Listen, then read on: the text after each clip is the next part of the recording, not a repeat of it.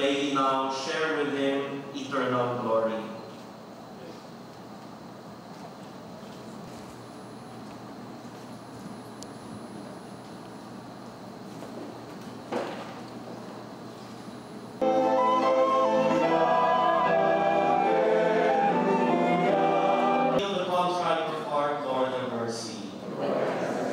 Love the Lord your God with all your heart, with all your soul, and with all your mind.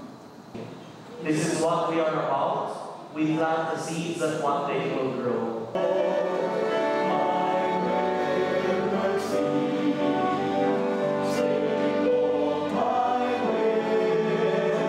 Papa wrote mom a love letter.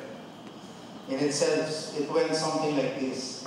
Jesus Christ, love Him, pray to Him, and live for Him. And some near six-footer who attracted a lot of.